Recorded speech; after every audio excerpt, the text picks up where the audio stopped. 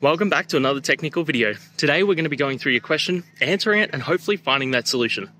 Guys, remember to stay just a little bit crazy like me, and hopefully you get to that resolution. Now, let's continue on to the video.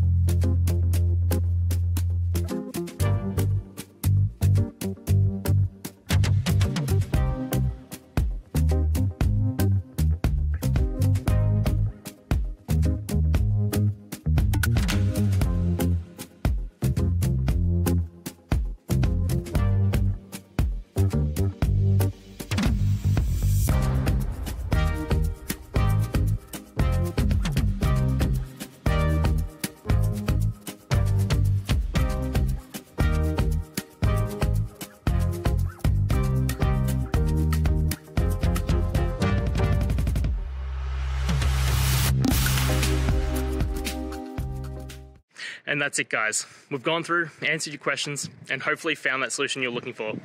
If we did, please hit subscribe. I'd really appreciate it. And until next time, I hope you have a good one.